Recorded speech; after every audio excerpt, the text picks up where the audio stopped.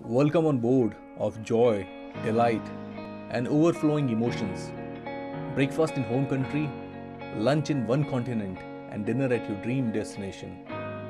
This would have to be one of the most obvious things for people who love to fly. Imagine jet setting around the world, staying a night or two in a foreign cities, only to wake up and do it all again. Expect crazy hours and crazy lifestyles.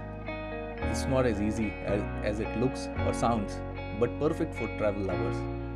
This is a story of Samreen, widely known as Sam, whose impeccable style and class sets her apart.